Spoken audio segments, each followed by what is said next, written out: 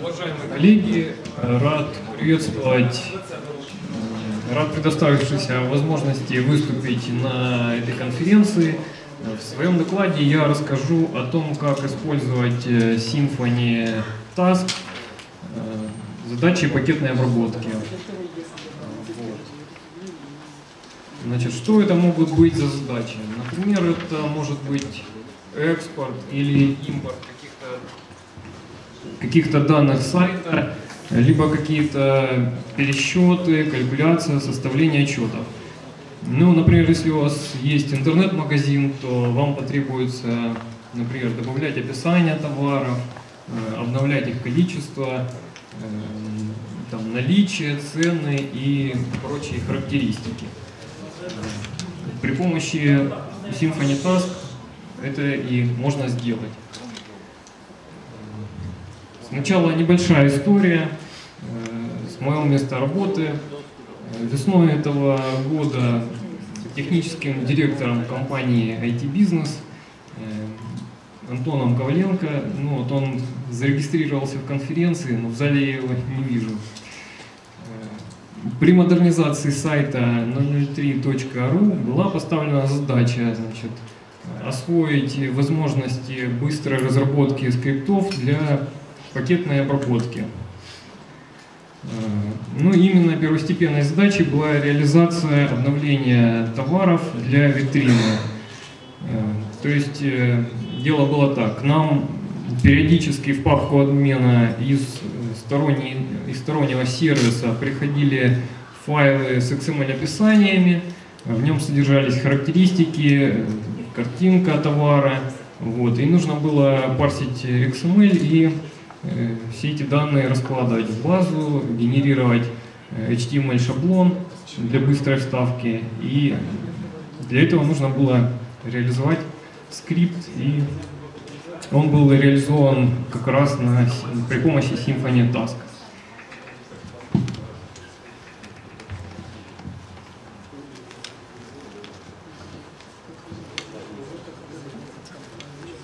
Э, и сегодня я хочу поделиться с вами э, некоторыми знаниями и опытами, и опытом использования Symfony Task.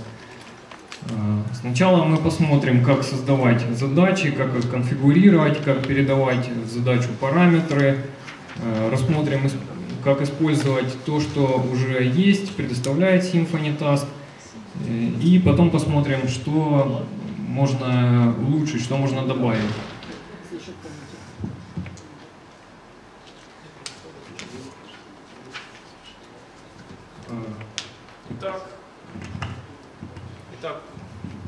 Поехали, перейдем к практическому использованию. У нас ждет командная строчка, код. Э, для примеров был выбран и установлен Sandbox версии 1.4. Э, вот. Сначала мы зайдем в консоль и взглянем на список задач, которые предоставляет э, Symfony. В этом списке красным цветом отмечен namespace, задач, а зеленым сами задачи. Ну, по умолчанию это все задачи э, Symfony и задачи плагинов, плюс еще те задачи, которые мы создаем сами.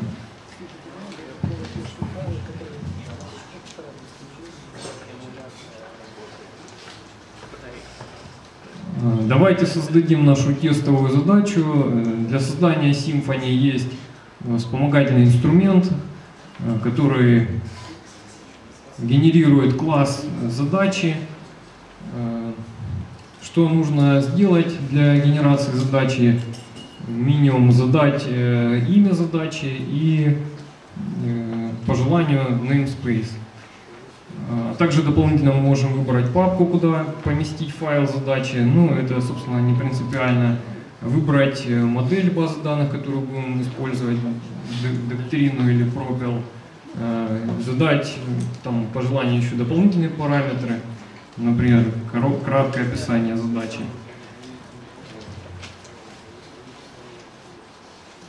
Зададим namespace нашей задачи э, 2010, а имя пусть будет Киев и выполним команду создания, э, генерации задачи, как видим, создался, создалась папка и файл задачи. В этом файле содержится э, класс, расширяющий класс, базовый класс задач Symfony, и в нем два метода будет конфигурации и исполнения. Ну, здесь показаны свернутые методы.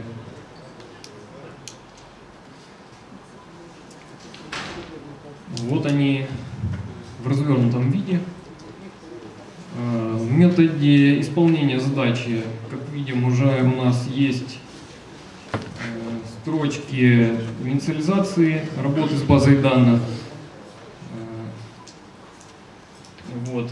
Собственно говоря, в execute передается потом управление при вызове задачи. Ну, сделаем, чтобы задача выводила приветствие. Добавим небольшой код. И как запускать задачу из командной строки. Мы пишем namespace и имя задачи. Ну, собственно говоря, как все задачи в Symfony и выполняются. Теперь посмотрим на метод э, конфигурации задачи. Значит, э, задается namespace, э, имя, зададим краткое описание задачи и также можем создать детальное описание. Краткое описание вводится в списке задач, детальное описание в помощи по задаче. В детальном описании мы можем использовать э, теги для э, форматирования, цветного форматирования э, в командной строке. Вот так это будет выглядеть. Вот так вот запускается задача и такую помощь она вводит. Также мы можем задать Элиас для задачи, краткое имя. Э, в массив передаем все возможные, которые мы хотим, краткие имена и можем использовать простой вызов вот такой. Э, ну вот, мы видим здесь, что оно отмечено, элиас задачи.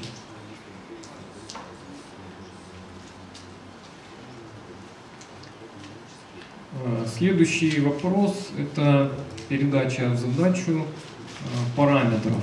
Значит, передаются аргументы и опции. Они э, конфигурируются при помощи в методе configuration при помощи методов add options и add arguments.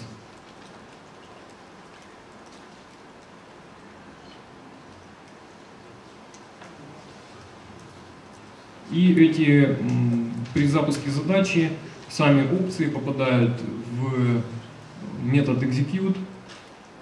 Добавим, например, вывод дампа аргументов и сконфигурировав, эм, добавим аргумент в задачу, например, my аргумент, значит, э, У нас есть э, три типа опций для аргументов.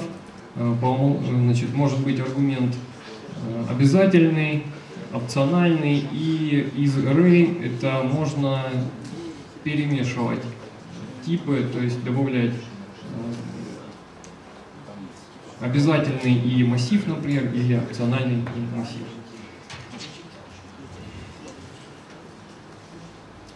Вот таким образом мы добавляем э, опции и вводим их при исполнении задачи дампом.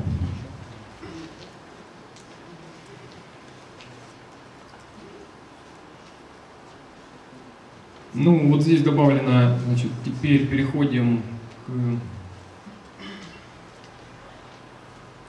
опциям. Опции гораздо удобнее аргументов, потому что при задании э, аргументов нам нужно точно знать позицию, чтобы передать значение какой-то, какую-то переменную в задачу.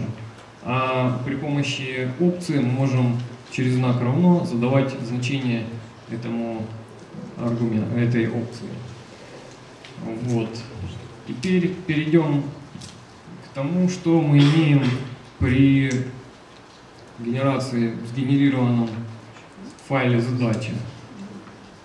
Значит, у нас есть настроенный коннект, э, будет вывод на консоль значений, возможность, э, интерактивный режим консоли,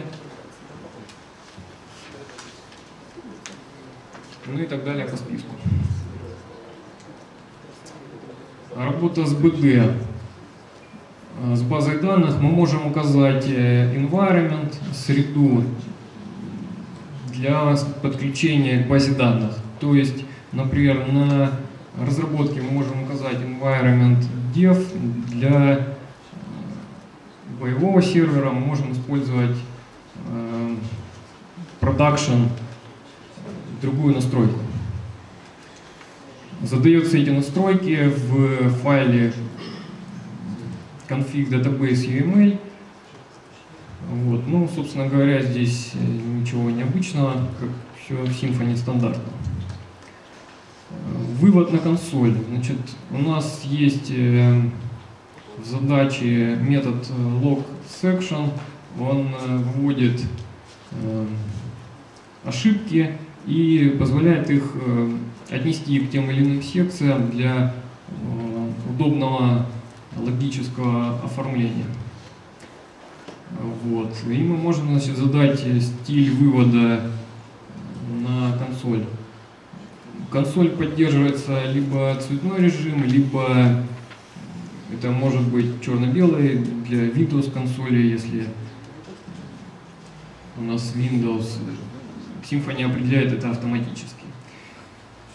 Вот. И можем также задавать логические блоки, выводить на консоль.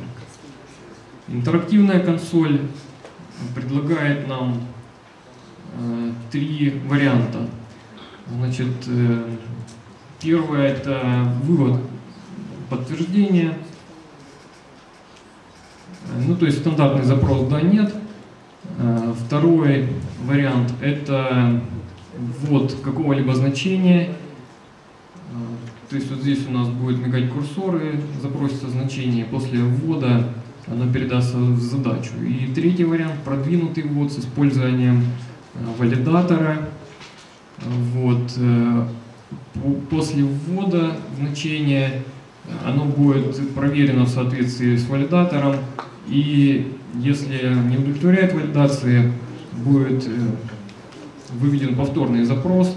Количество запросов мы можем указать сколько раз, например, запрашивать, вводить запрос. И по умолчанию, после исчерпания лимита этих запросов, задача, если не получит желаемый параметр, она завершится. Значит, еще в задачах есть возможность запускать другие задачи. Например, э, очистку кэша или любую другую задачу, которую нам потребуется.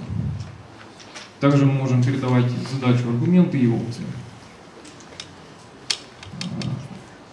Еще у нас есть возможность отправлять почту э, значит, в методе базовом Symfony SF Base Task есть метод getMailer, он возвращает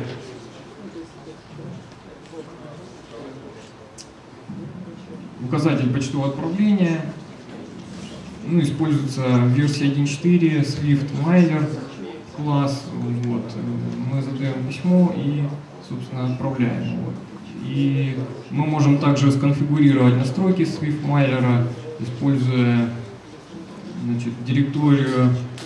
По умолчанию она есть в папке config самого фреймворка Symfony.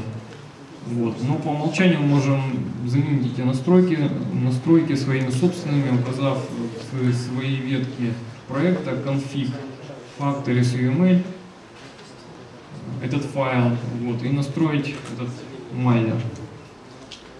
плагины. Мы можем также подключать, отключать плагины и их использовать.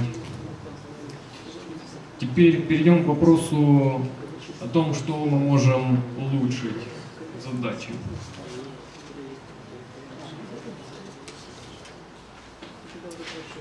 Чего не хватает для полноценной работы? Неплохо было бы иметь э, загрузку настроек для каждой задачи и также добавить э, введение лога. Э, для этого мы будем расширять симфонийский класс базовый. Определим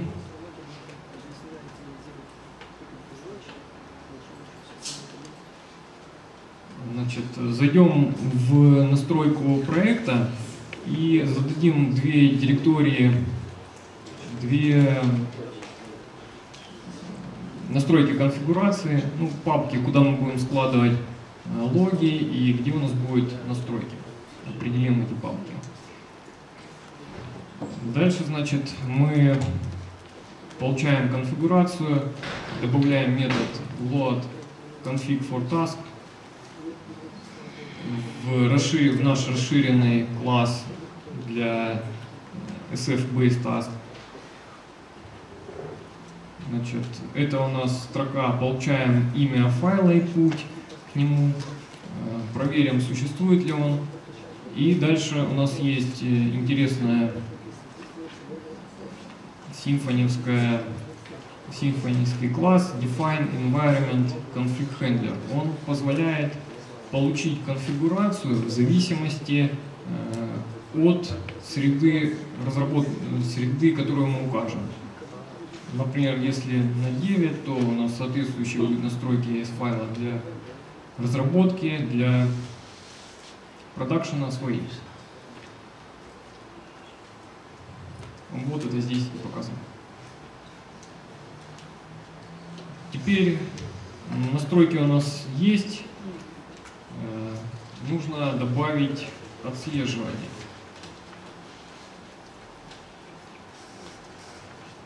Неплохо было бы иметь возможность писать сообщения э, на консоль, выводить их, э, также записывать файл и отсылать на почте, по почте. И делать это желательно, вызывая в скрипте один метод, и так, чтобы все эти сообщения Э, реплицировались на все три лога. Добавим в наш расширенный, расширяющий класс SF-based метод инициализации логирования. Получаем в первой строке путь и имя файла к логу. Э, задаем файловый логер сначала, потом задаем консольный логер и почтовый логер. Почтовый логер использован собственный, так как Symfony не предоставляет такой возможности отправки лога на почту. Э, но его несложно написать, используя класс SF э, стандартный симфонийский класс, в который пишутся сообщения лога.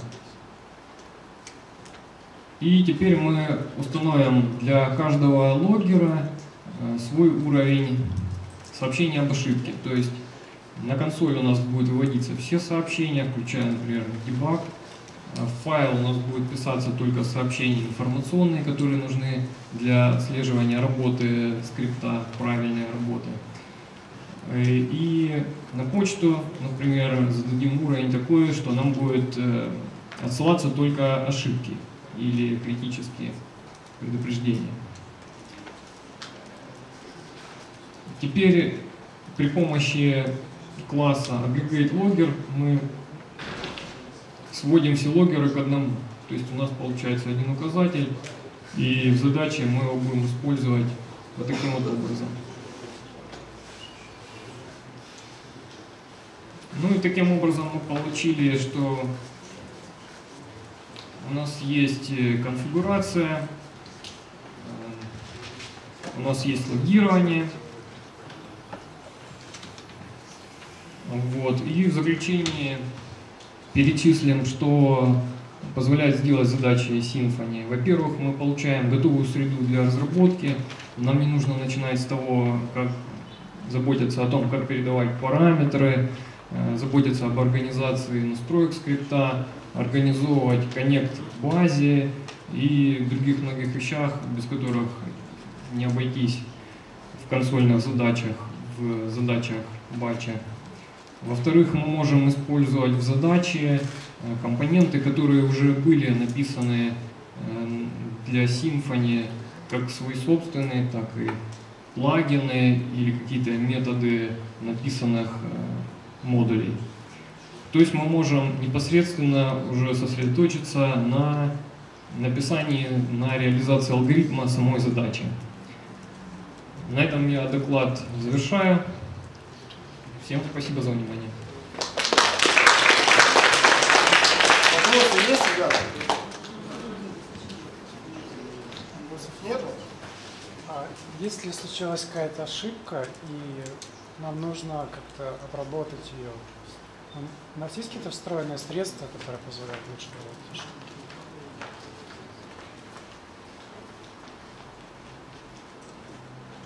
Ну, насколько, насколько знаю, в Symfony, по-моему, есть э, класс, который позволяет при, ну вот он называется веб-дебаггер, по-моему, там есть такая возможность.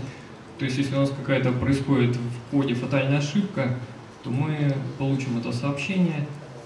Вот. И также мы, кстати, можем отправить на почту. Еще есть вопросы?